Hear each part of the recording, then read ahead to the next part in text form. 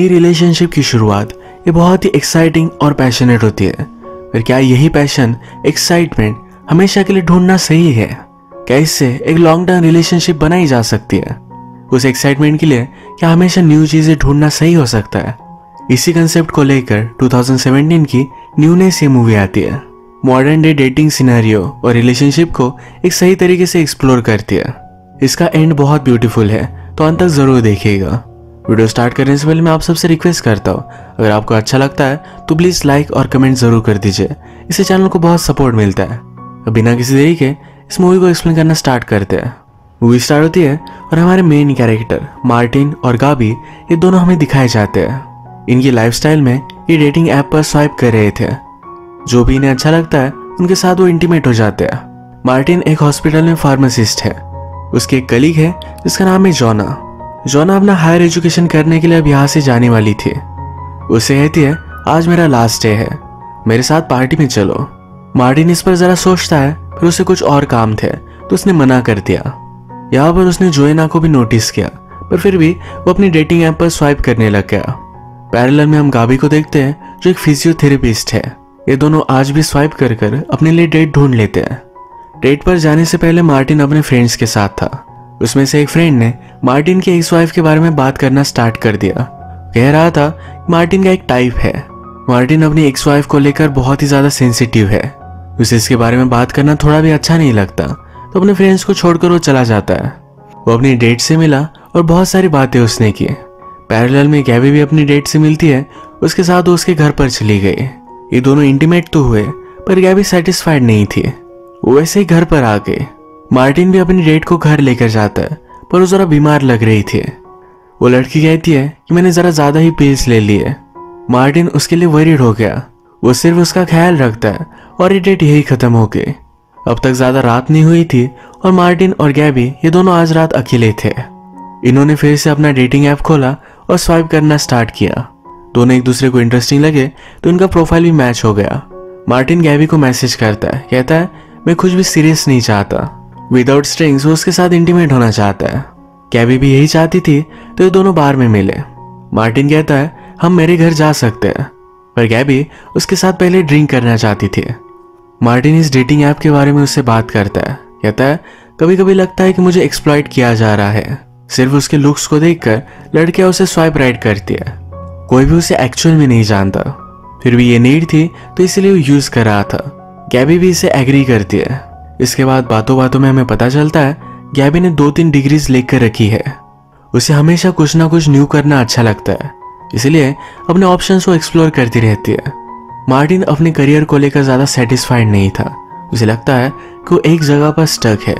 यहाँ से निकलने के लिए वो कुछ करने भी नहीं वाला। ऐसे बहुत सारी बातें इन्होंने की, फिर डांस किया। बार में कुछ गेम्स खेले। इन दोनों को एक दूसरे की कंपनी बहुत अच्छी लगी। ये दोनों जब बाहर आए तो गैबी उसे सच सच बता देती है कि वो किसी और के साथ डेट पर थी। मार्टिन कहता है, इससे मुझे ज़्यादा कुछ फ़र्क नहीं पड़ता। गैबी को लगा था इनकी डेट यही खत्म हो जाएगी, और मार्टिन उसे डिनर के लिए पूछता है। ये दोनों और भी टाइम एक साथ गुजारते हैं। मार्टिन और गैबी इन दोनों को फ्यूचर में बच्चे चाहिए, पर गैबी इसके लिए शादी नहीं करना चाहती है। इनकी नाइट बहुत अच्छी थी तो मार्टिन के घर पर आए ये दोनों इंटीमेट हो जाते हैं। सुबह का भी मार्टिन की बचपन की फ़ोटोज़ देखती है। ये दोनों मिलकर शावर करते हैं। मार्टिन उसके लिए ब्रेकफास्ट बना रहा था। कैबी को स्कैम्बर्ड एग्स पसंद नहीं है पर मार्टिन कहता है तुम्हारे लिए मैं स्पेशल बनाऊँगा। तुम्हें अच्छे लगेंगे। गैबी को कभी भी पसंद नहीं आते थे पर आज उसे अच्छा लगा। वो मार्टिन से पूछती है इसमें स्पेशल क्या है? मार्टिन कहता है बहुत ही छोटी छोटी चीज़ें होती है पर उन्हें परफेक्ट करना पड़ता है। वेल well, एक्चुअली ये मूवी का बहुत ही इंपॉर्टेंट सीन है। इसके बारे में आपको बाद में पता चलेगा। आज इन दोनों का डे ऑफ़ था तो डिसाइड करते हैं, एक साथ बिताएँगे। ये अलग अलग जगह पर गए पेंटिंग्स देखी, बहुत मज़े किए। गैबी फिर अगली सुबह ही अपने जॉब पर जाती है। ये दोनों फ्रिक्वेंटली एक दूसरे से मिलने लग गए। इनका एक साथ रहना, ये बहुत इंपॉर्टेंट था। तो मार्टिन गैबी से उसके घर में मूव इन करने के लिए पूछ लेता है। ये सब बहुत फास्ट था, पर गैबी को इससे कुछ भी फ़र्क नहीं पड़ा। इसके लिए वो हाँ कह देती है। इसके बाद ये मूवीज़ देखते थे। अलग अलग जगह पर जाते थे। एक दूसरे के साथ बहुत ही ब्यूटीफुल सा टाइम बिताते थे। एक दिन मार्टिन गैबी को अपने बेस्ट फ्रेंड और उसकी वाइफ से मिलवाता है। इन दोनों की केमिस्ट्री देखकर मार्टिन के बेस्ट फ्रेंड को भी अच्छा लगा। एक दिन जब गैबी मार्टिन के साथ इंटीमेट होना चाहती थी तो मार्टिन इसके लिए एक्साइटेड नहीं था। वो कहता है, आज मैं ज़रा थक गया हूँ। इसके ही अगले दिन मार्टिन गैबी को अपने पेरेंट्स से मिलवाने के लिए लेकर जाता है। गैबी और मार्टिन के फादर मिलकर कुक कर रहे थे। यहाँ फादर से गैबी को पता चला कि मार्टिन की मदर को डायमेंशिया है। उसे कोई भी चीज़ें सही से याद नहीं रहती। गैबी के लिए सरप्राइज़ था। मार्टिन को ये चीज़ उसे बतानी चाहिए थी। घर में गैबी ने नोटिस किया कि मार्टिन के बचपन में उसकी सिस्टर के साथ फ़ोटोज़ है। मार्टिन ने अपनी सिस्टर के बारे में कभी भी उससे बात नहीं की थी। ये सब जब लंच कर रहे थे तो मार्टिन की मदर मार्टिन की एक्स वाइफ के बारे में पूछती है। ये सब कुछ गैबी के लिए बहुत ही अनकंफर्टेबल था। वो मार्टिन से पूछती है तो कहता है, घर जाकर हम बात करेंगे। घर आने पर वो बहुत गुस्सा थी। कहती है, तुमने अपनी सिस्टर के बारे में, अपनी मदर के बारे में मुझसे बात क्यों नहीं की? मैं तुम्हारी गर्लफ्रेंड हूँ, तुम्हें मुझे सब कुछ चीज़ें बतानी चाहिए। मार्टिन कहता है, ये सब मेरा पास्ट है, तुम्हें इससे बारे में जानना क्यों है? गैबी उसे इरिटेट कर रही थी। मार्टिन हार मानकर बता देता है, उसकी सिस्टर की एक कार एक्सीडेंट में डेथ हुई थी। इसके बाद उसकी फैमिली पहले जैसे कभी भी नहीं रही। ये उसके लिए बहुत ही सेंसिटिव टॉपिक था, पर फिर भी उसे बात करनी पड़ी। इस पर वो गैबी पर भी गुस्सा था। इसके बाद नेक्स्ट सीन में मार्टिन अपने बेस्ट फ्रेंड के साथ था। उसका बेस्ट फ्रेंड उसे पूछता है, क्या तुम गैवी से प्यार करते हो? मार्टिन कहता है कि हाँ। उसने मार्टिन से कहा, तुम्हारी एक्स गर्लफ्रेंड को बेबी हुआ है। मार्टिन और उसकी एक्स गर्लफ्रेंड इनका ब्रेकअप हुए दस साल हो चुके हैं, पर फिर भी इस पर बिलीव नहीं कर पाता। गैबी जब काम पर थी तो उसके यहाँ एक पेशेंट आया। वो गैबी को पहचानता है, क्योंकि उसी के बारे में वो हमेशा आया करती है। उसे नहीं पता था कि वो यहाँ काम करती है तो उसे देखकर वो बहुत सरप्राइज़ था। उसके डॉक्टर के साथ अपॉइंटमेंट वगैरह हो गई तो फिर से गैबी से मिला। उसे कहता है, आज रात मेरे यहाँ पार्टी है। अगर गैबी इस पार्टी में आई तो एक सेलिब्रिटी से उसे वो मिलवाएगा। वो गैबी से कहता है कि, आज मैं यहाँ आया तो मुझे लगता है कि मैं सिर्फ़ तुम्हारे लिए आया हूँ। उसे वो बहुत पसंद आई थी। मार्टिन की कली, जो हायर एजुकेशन के लिए चली गई थी, वो जरा कुछ काम से फिर से वापस आई। वो आज उसे कहती है कि आज तुम्हें मेरे साथ पार्टी में चलना ही पड़ेगा। वो उसे मना नहीं कर पाया। वो इस बारे में गैबी को मैसेज करता है। गैबी ने भी डिसाइड किया कि वो उस पार्टी में जाएगी। ये दोनों पार्टी में गए और किसी और के साथ इंटीमेट हो गए। गैबी ने मार्टिन पर चीट किया तो उसे बहुत बुरा लग रहा था। वो उसके पास आई। रोकर उसे सब कुछ सच बता देती है। मार्टिन कहता है कि मैंने भी तुम पर चीट किया। ये दोनों एक दूसरे से सॉरी कहते हैं। इनको अपनी रिलेशनशिप नहीं तोड़नी थी तो डिसाइड किया एक थेरेपिस्ट के पास जाएँगे। अपनी रिलेशनशिप पर काम करेंगे। जो ये एक दूसरे के साथ महसूस करते हैं, ये कभी भी किसी के साथ भी नहीं किया। थेरेपिस्ट ने इनसे सेपरेट सेपरेट सेशन किया। वो मार्टिन से पूछता है, तुमने चीट क्यों किया था? वो कहता है, मुझे लाइफ में कुछ एक्साइटिंग चाहिए था। यही आंसर गैबी का भी था।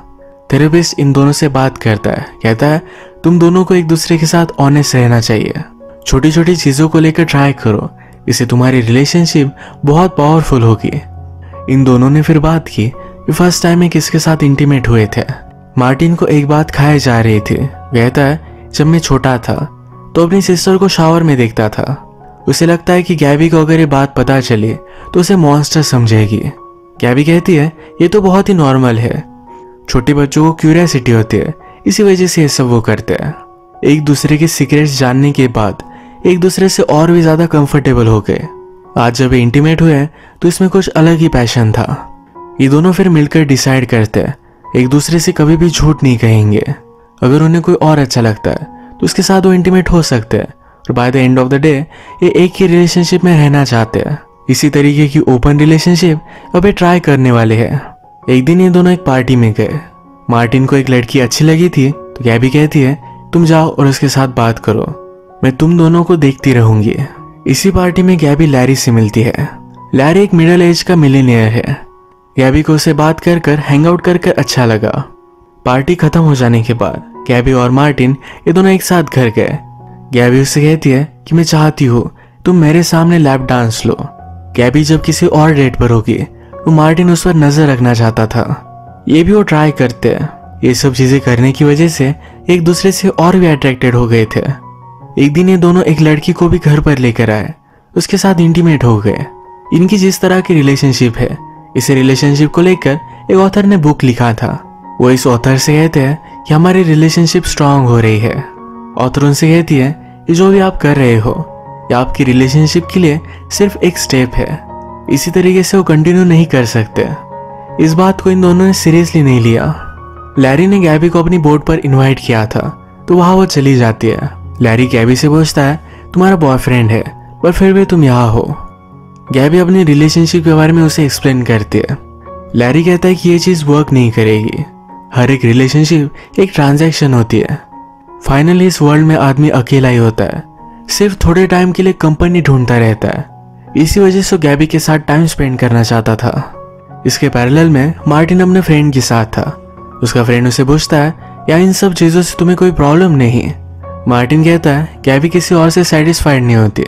फाइनली वो मेरे पास ही आ जाती है। इसी वजह से उसे कोई भी प्रॉब्लम नहीं है।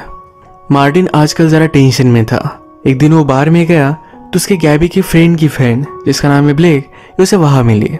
ये उसके साथ बैठकर ड्रिंक करने लग जाती है। वो उससे कहती है, तुम कोई ना कोई चीज़ को लेकर टेंशन में हो। मुझे बता डालो। मार्टिन को नहीं बताना था, पर फिर भी उसके फोर्स की वजह से वो बता देता है। वो कहता है कि मुझे अभी अभी पता चला, मेरी गर्लफ्रेंड को बेबी हुआ है। वो जब रिलेशनशिप में थे, तभी भी उसकी गर्लफ्रेंड प्रेग्नेंट थी। उसका मिस कैरेज हो गया। उस वक्त तो उससे सही से बात नहीं कर पाया। उसी वजह से रिलेशनशिप टूट गई। उसे लगता था कि वो हमेशा उसके लिए है। पर उसकी गर्लफ्रेंड लाइफ में सही तरीके से मूव ऑन कर चुकी है तो अपसेट था। ब्लेक रियलाइज़ करती है कि मार्टिन को यह सब बातें गैबी को बतानी चाहिए।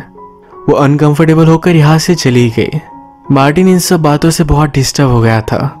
वो रात में गैबी के पास आया, उससे बात करना चाहता था, पर गैबी बहुत थक चुकी थी। वो रात में अपने एक्स गर्लफ्रेंड की सब फ़ोटोज़ उसकी वीडियोस देखता रहता है। इसके बाद गैबी फिर से लैरी के साथ डेट पर गई। आज रात ये दोनों इंटीमेट हो गए थे। अगली सुबह जब मार्टिन को पता चला तो इस बात से वो जेलस था। अगले दिन जब गैबी अपने फ्रेंड से मिली तो उसे पता चला, मार्टिन और ब्लेक ये दोनों एक दूसरे से बात कर रहे थे। मार्टिन ने उसे जो जो कहा था इस सब कुछ गैबी को पता चल गया। वो इस बात से बहुत गुस्सा हो गई वो मार्टिन का लैपटॉप चेक करती है। यहाँ उसे पता चला कि मार्टिन अपनी एक्स गर्लफ्रेंड को ईमेल लिख रहा था। मार्टिन के घर आने पर इस बात से इन दोनों में बहुत बड़ा झगड़ा हो गया। वैसे कहती तुम ऐसा कर कैसे सकते हो? मार्टिन कहता है, तुम भी लैरी को डेट कर रही हो।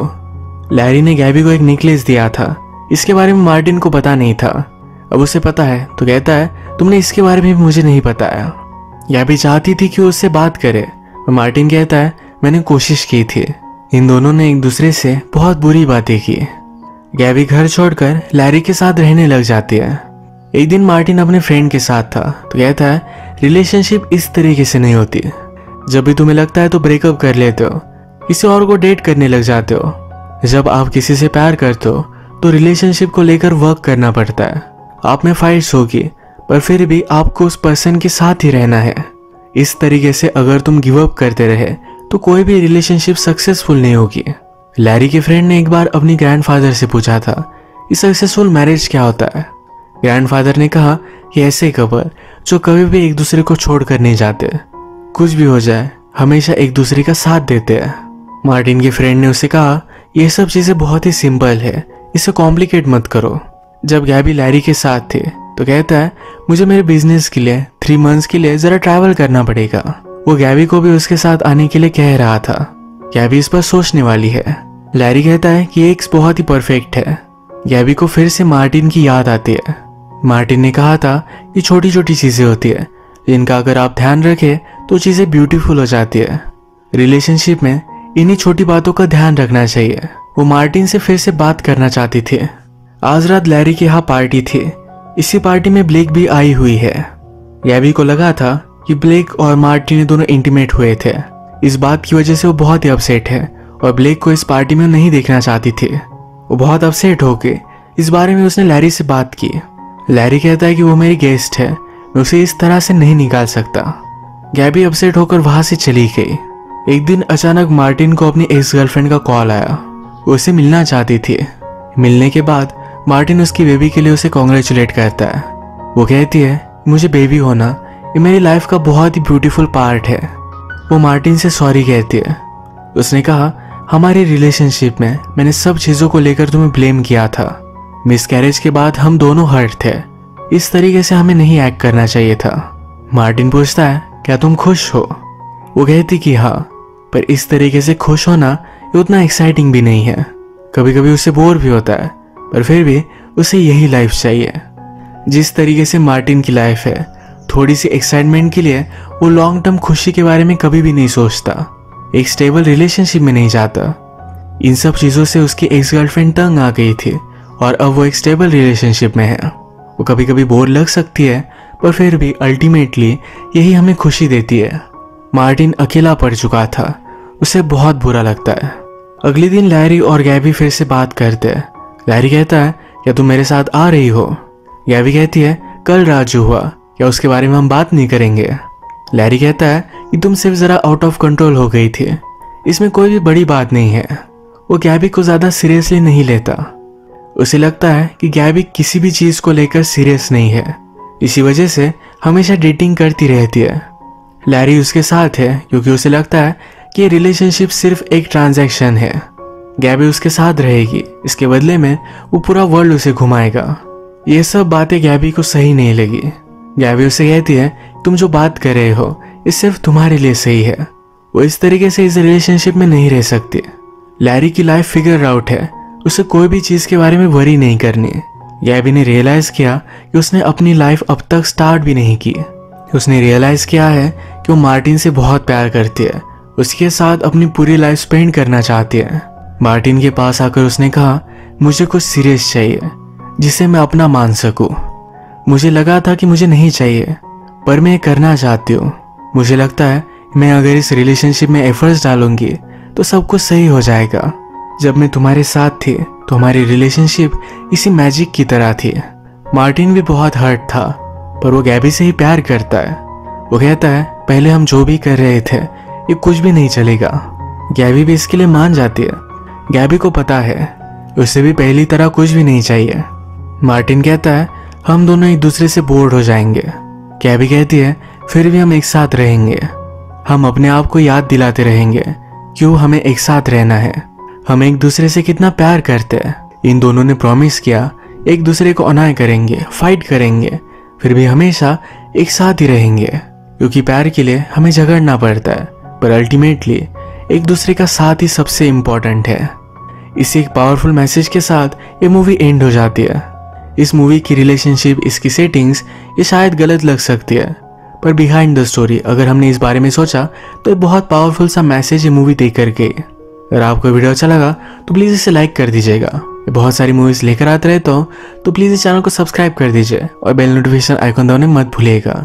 हम फिर से मिलेंगे और एक नई मूवी के साथ। तब तक के लिए थैंक यू और आप अपने आप का ख्याल रखिए।